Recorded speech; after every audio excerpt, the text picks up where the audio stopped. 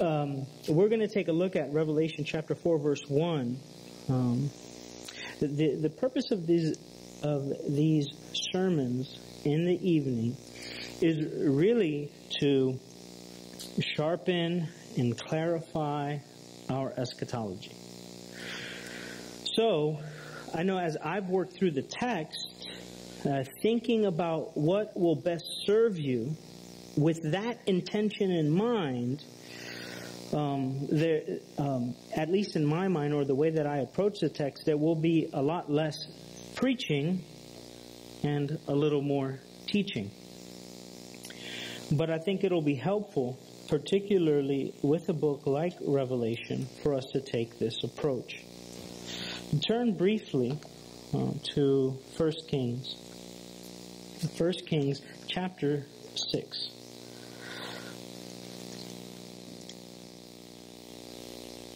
Excuse me, 2 Kings. 2 Kings chapter 6.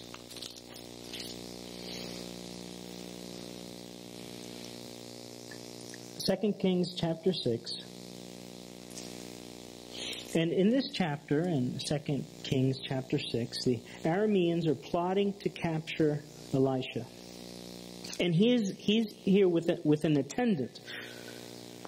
And if you look down at verse 15, and now when the attendant of the man of God had risen early and gone out, behold, an army with horses and chariots was circling the city.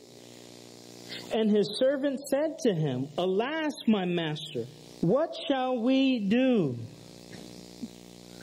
And so the attendant sees the circumstances and he realizes we're in trouble. Well, what are we going to do? We can't fight this army. And so he answered, Do not fear, for those who are with us are more than those who are with them.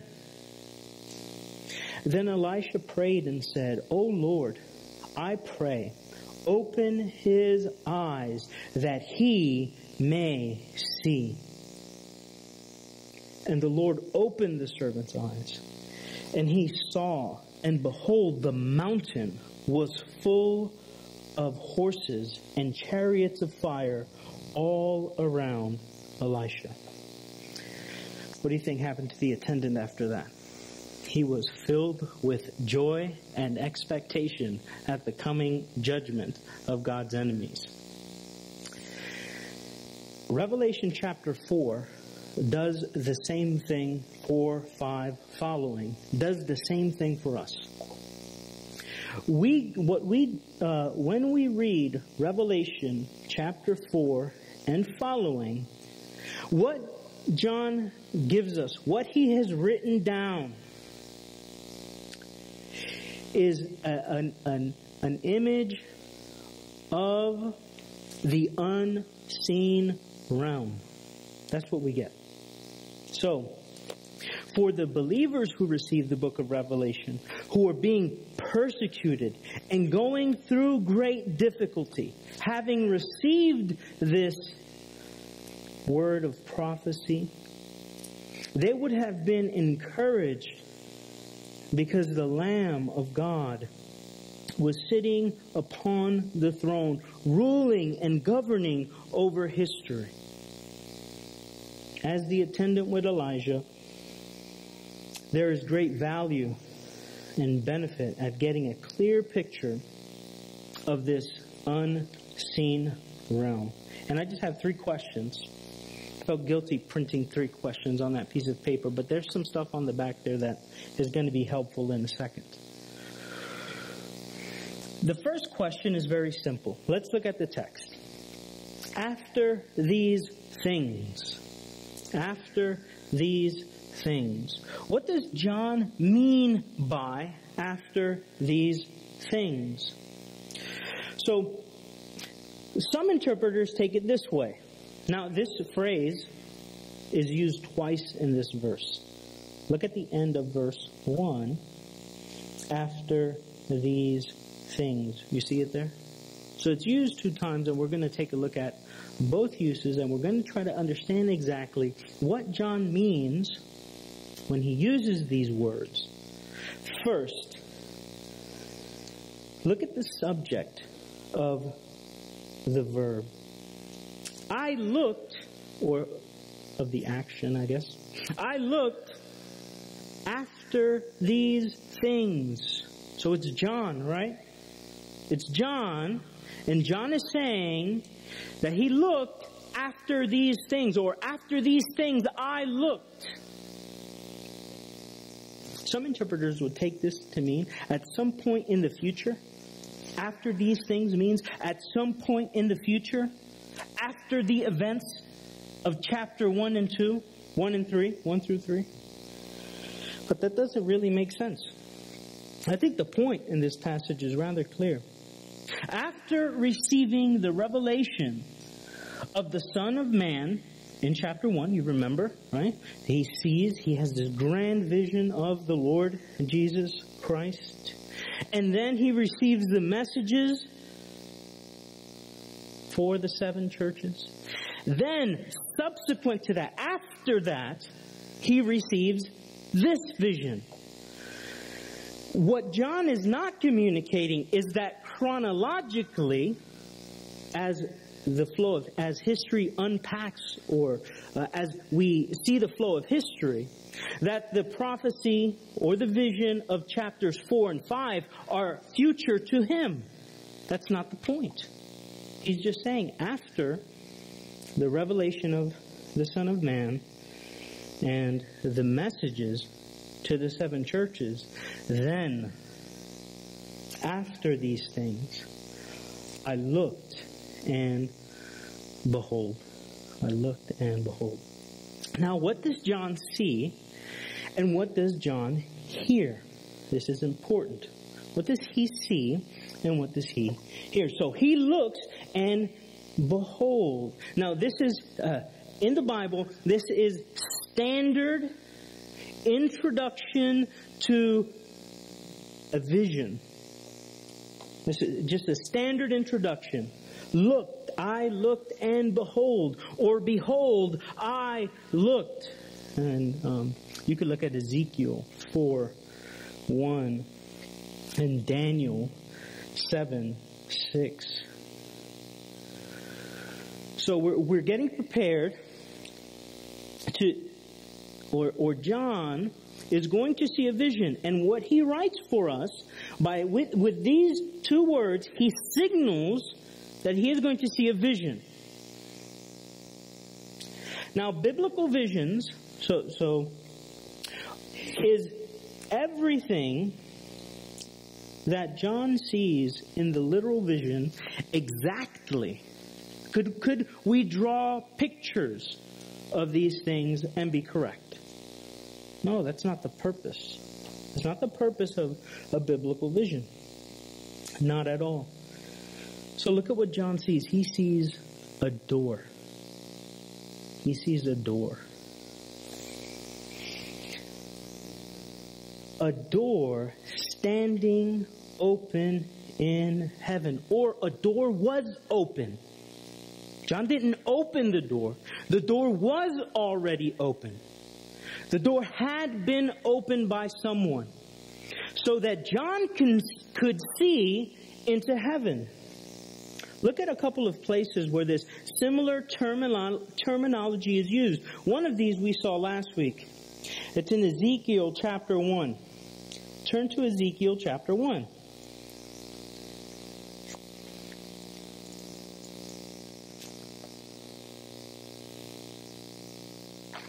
In Ezekiel chapter 1 and verse 1. Now, it came to pass. And now it came about in the thirteenth year, on the fifth day of the fourth month, while I was by the river Chebar among the exiles, the heavens were open, and I saw visions of God. And remember what he sees? He, see the, he sees those four beasts that were around God's throne. The open door or the door standing open, really what it means or the way that we should understand it is that John is given a vision. and heaven is open to him. He sees what's happening in heaven. That gets me excited. Right? Like to, to um, you, you remember, so we, we studied Daniel. And I think it's in Daniel chapter. It's in Daniel chapter 9, right? Yeah. After his prayer, angel shows up and he says, Man, I would have got here faster, but I was fighting the Prince of Persia. And he's not talking about the like the literal Prince of Persia. He's talking about some, I guess, demonic being. And then he says, a little later, he says, I'm going to have to leave and fight the Prince of Greece. What, what's he talking? He's talking about realities that we don't see with our eyes. There is an unseen realm of principalities and powers and demons and angels that our finite eyes and minds can't comprehend. And for the comfort of his people, God allows John to take a look into heaven. The other reference is in Acts 756. You can write that down, and that's Stephen, right? He is about to be killed, and he looks to heaven. And in a, in a, in a true sense, he finds his vindication there. The things that he was preaching before the Jewish people who were about to stone him were true. And heaven is open for him. And he gets a picture. He, he, he sees into heaven. And he sees the Son of Man standing at the right hand of God. It's a very true sense. This is what the book of Revelation does for us. It unpacks more. And it does it with imagery and symbolism. But the purpose is to show us that God has defeated his enemies. There's still more to come. But the Lord Jesus, in his person and in his work, has accomplished what God sent him to accomplish. So he sees an open door. The door is open, and he is about, uh, we are about to receive a disclosure from heaven. So that's what John sees. But he also hears something. He hears something. Let's turn back to Revelation. Revelation uh, chapter 4 and verse 1. I looked, and behold, a door standing open in heaven. Heaven is open to him. Let me back up one second. When heaven is open to him, what exactly is he looking into? Is he just looking into like outer space? I think there's a particular reason why there's a door, right? Even if it's symbolic. Look at look at uh, chapter 11 of Revelation and verse 19.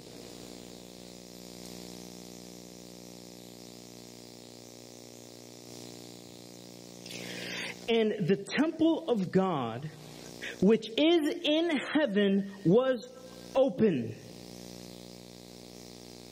Wherever that realm is, that unseen realm, there's a, there's, there's something, there's a temple. And that temple is open. That's the door that's open in heaven is the door in the temple. And central in that temple, you see this in chapter 4, is the throne. The throne is at the center of that temple. The Ark of the Covenant appeared in his temple. And there was, and we'll see this in chapter 4, there were flashes of lightning and sounds and peals of thunder and an earthquake and a great hailstorm. In 1417, 1417, Remember, there were, there were angels there. And so in 1417, and another angel came out of the temple, which is in heaven, and he also had a sharp sickle. This is so wherever that realm is, the temple is the center. At the temple of the te- at the uh, center of the temple is the throne. Other texts. There are other texts. Um, uh, look at verse 15, same chapter. And another angel came out of the temple, crying out with a loud voice to him who sat on the cloud. So he gets a view, a picture of this temple. Uh, right, you could write these verses down. 15, 5 through 18. 15, verse 5 through 18. 16, verse 1 and verse 17. So there is a divine disclosure that is about to be given to John as he look and sees, he looks into heaven, he sees a door open, he sees into the temple that's in heaven. Now, he also hears something. He hears something. listen to how he says this. Go back to chapter 4. He says, And the first voice which I had heard. Whose, whose voice is that? Well, look at chapter 1, verse 10. I was in the Spirit on the Lord's day, and I heard behind me a loud voice, like the sound of a trumpet, saying, Write in a book what you see, and send it to the seven churches. Verse 12 Then I turned to see the voice. Have you ever done that? Have you ever turned to see a voice? No. It was powerful. Right? It was like a trumpet. It was overwhelming. That, that's, that's the point. The point isn't that his voice sounded like. He didn't talk like that. It was loud and powerful. And he sees the Son of Man. That's who he sees. So this is the voice that he hears, right? He looks, he sees an open door, and he hears this voice.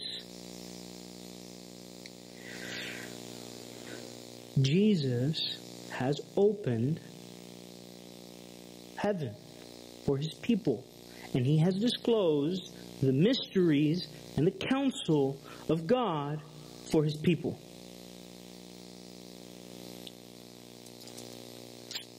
he hears a, a voice, right? This loud, powerful voice. Look at chapter 1, verse 19.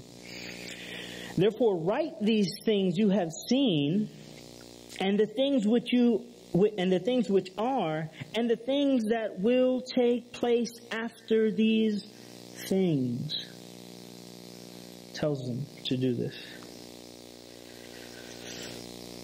verse 17, I, when I saw him, I fell at his feet like a dead man. Remember, this happens to Daniel.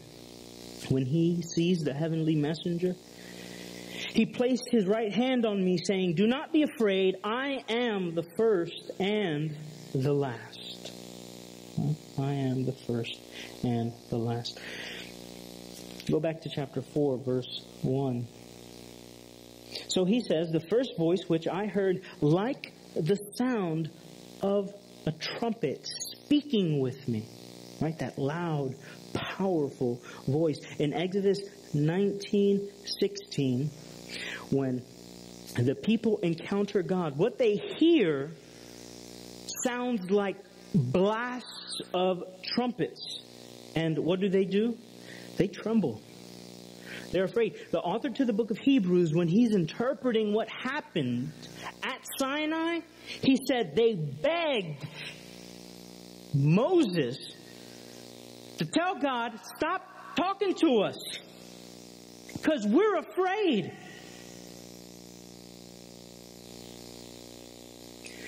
And heaven is open, and John hears this voice.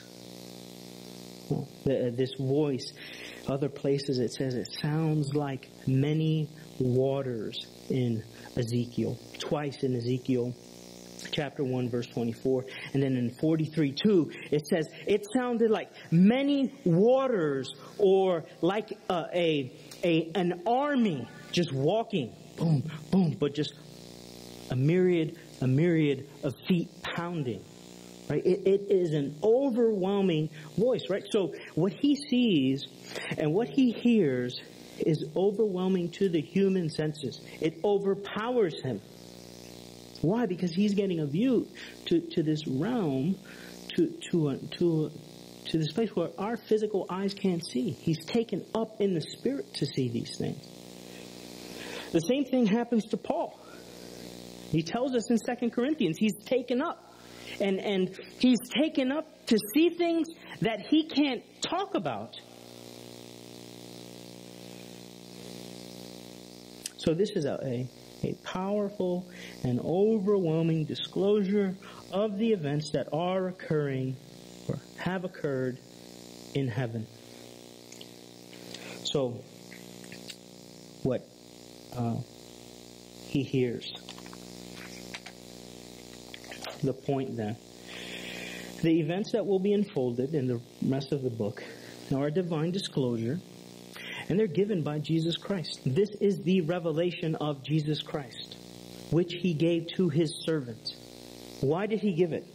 Why, why do we waste our time studying a book that most people don't want to preach? Well, in chapter 1 verse 3 it says, Blessed is he who reads and those who hear the words of the prophecy and heed the things which are written in it, for the time is near. There is a blessing attached to understanding this book. Why? Because it's this grand disclosure. We get to see what is happening in heaven. What Daniel couldn't see. Remember, Daniel asked Daniel chapter 12, man, please tell me more, angel. And nope, seal it. Jesus opens that. And we get to see.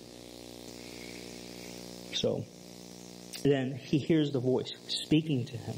And he, the voice says to him, come up here and I will show you. That's a command too. He's not, he's not saying, would you like to see what's happening up here? He's, come, come up here and I will show you what must take place, divine necessity, right? It is necessary. What is nece- what will necessarily take place after these things? What will necessarily take place after these things? Now, how do we understand after these things? And I have five minutes, and I'll take five minutes to explain what after these things means. Again, I don't think it means, so I'll be upfront with you, I don't think it means after the events of chapters 1 through 3. I don't think it means that. I think it means something similar to what will take place in the last days. And then you have to ask the question, well, when are the last days? And I'll try to answer both of those questions in five minutes. Look at chapter 1, verse 19. Chapter 1, verse 19. Therefore, write these things, we saw this verse, which you have seen, and the things which are, and the things that will take place after these things. Same phrase at the end there. After these things. After these things. I believe that, that those three points you have seen things which are, which will be, that's, that's a biblical way of saying the already and the not yet. I think that, so if you were looking for biblical terminology, right, and you said to me, Pastor Rick, I don't like the phrase already, not yet. I don't want to use that. I would say, well, go here and use this what we've seen, the things that are, and the things that will be. That's already, not yet. Biblical language for already, not yet. And really, what he's going to do then is unfold for us the pattern of history. This terminology is taken explicitly from the book of Daniel. This, this is used already in Daniel. So, um, it, on the on the back of that handout, right? You have stuff written there, and I know most of you are not going to understand it. But what you have there is Hebrew words, right? And, and you can see those Hebrew words are the same in the Hebrew text when they're cited. And then you have Greek translations and then English translations of the Greek. And at the bottom, very bottom, you have the book of Revelation, the Greek text and the translation for those phrases. So I'm going to make reference to those. You don't have to look at them at, during the sermon. You can. It might be helpful. But later, after you hear, then it'll make sense. So in Daniel 2.29, turn there. Daniel 2.29. Remember, we have the vision. What, what's this vision about here in Daniel 2.29? I'm asking a question. Daniel 2, what's the vision? Four nations. The four nations, that's right. So, if you look, look at verse 29, listen to what it, what it says. Well, look back. Look back at verse 28. However, there is a God in heaven who reveals mysteries. And he has made known to King Nebuchadnezzar what will take place when? In the latter days. The Old Testament tends to, uh, Gerhardus Vos has a really good chapter on this in his book, Old Testament Eschatology, and he credits Bible translators who use this translation. You have latter days and last days technically mean the same thing, but in the Old Testament, they are anticipating the latter days. In the New Testament, the last days have come. So that's the right way to speak about it. But you see, God has made known to him, to Nebuchadnezzar, what will take place in the last days. This was your dream and your vision in your mind while you were on your bed. As for you, O king, while on your bed, your thoughts turned to what would take place in the future. What is synonymous to in the future in verse 28? What is synonymous with it? Means the same thing. In uh, in the last days. In the last days. So in the future is synonymous with in the last days.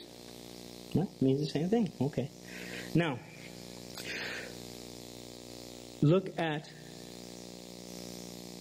Daniel 9. Look at Daniel 9 and verse 44.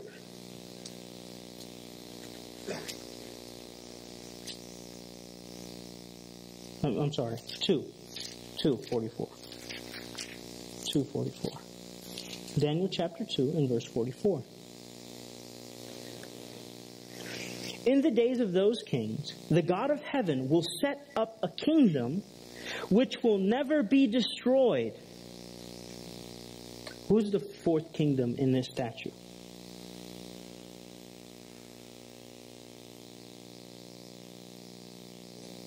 Rome. He's saying in the days of those kingdoms, in the days of Rome, God is going to set up a kingdom. That's what he's saying.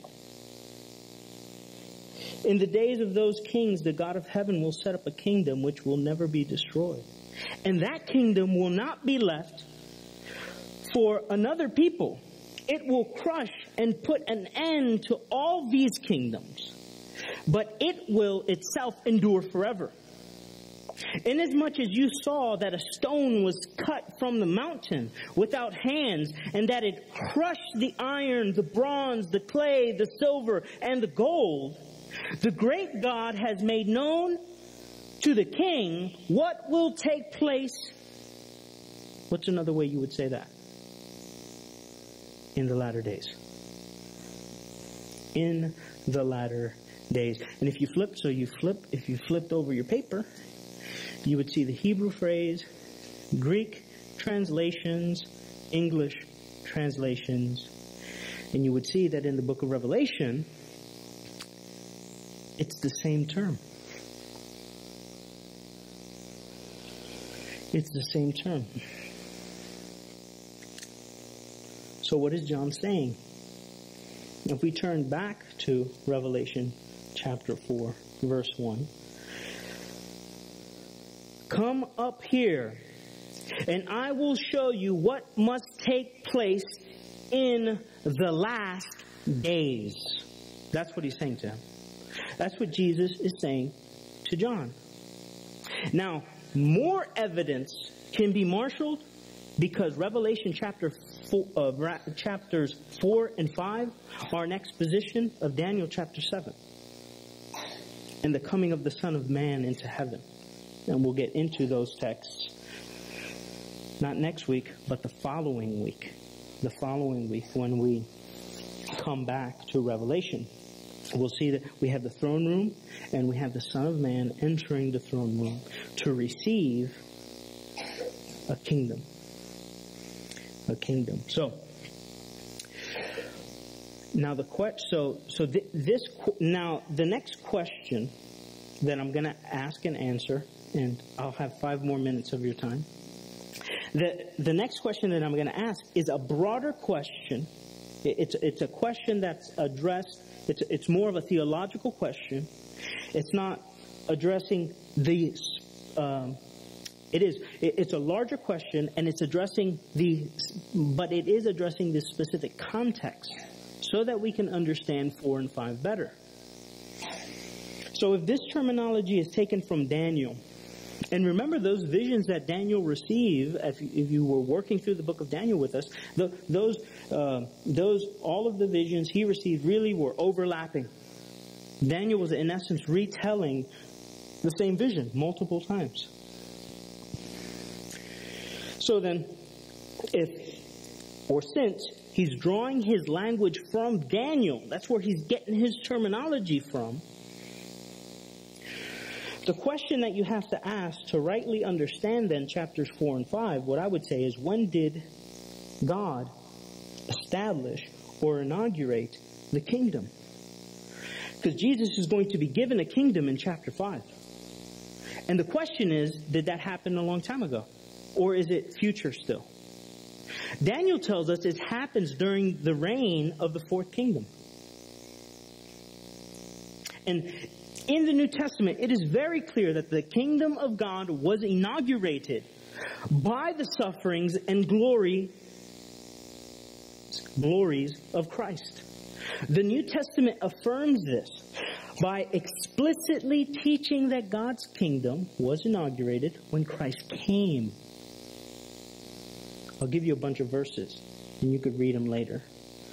Matthew 12, 28. Mark 1 14 through 15. Luke 2 1 through 7. Luke 3. Luke 9 27. Luke 10 9. 1 Corinthians 15, 23 through 26. Colossians 1, 13 through 14.